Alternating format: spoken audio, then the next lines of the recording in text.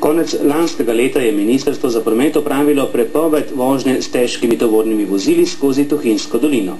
Predvsem težki vlačilci iz vzhodnoevropskih držav vse pogosteje iščejo bližnice in cenejšo pot od Štajerske proti Gorenski, s tem pa ogrožajo varnost pescev, še zlasti šolarjev, pa tudi vseh drugih udeležencev prometu.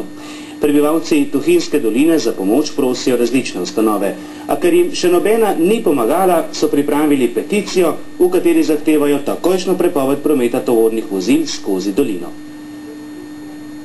Predstavniki civilne inicijative so na tiskovni konferenci predstavili neznosne prometne razmere v Tuhinski dolini po sprostitvi prometa težkih tovornjakov in zahtevali takojšno zagotovitev večje varnosti na njihovih cestah zadeve so z dneva v dan, bom rekla, alarmantne. Gre se za to, da je promet se z dneva v dan povečuje, predvsem tovorni promet je, ki nas ogroža dejansko ob cesti. Ni vrojenih niti prehodov za pesce, niti pločnikov, um, promet pa je katastrofalen.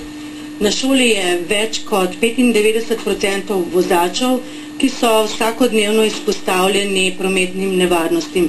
Svet staršev je ukrepal takoj po pojavu težkih tornakov. Nekako smo bili prvi, ki smo uh, poslali dopis na ministra Žarjava in pa na ostalih deset različnih institucij in v teh opisih, dopisih smo nekako upozorili predvsem na neustreznost teh šolskih poti. Ker se razmeri ne izboljšujejo, so krajani začeli podpisovati peticijo za izboljšanje prometnih razmer v dolini. S to peticijo smo želeli spodbuditi ministra Žarjava, da ponovno razmisli, ali je res ta Tuhinska cesta tehnično ustrezna za tovorni promet. Krati zahtevajo tudi ureditev plotnikov, prehodov za pesce in avtobusnih postajališč.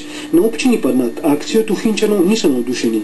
V občinski upravi smo trdno prepričani, da s klicevanjem enostranskih političnih tiskovnih konferenc in pritiskom javnosti z zbiranjem nekih peticij ne bomo dosegli namena in cilja.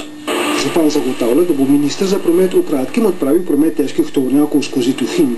Krajani pa vseeno grozijo, da bodo protestno zaprli cesto, če se to ne bo zgodilo k malu.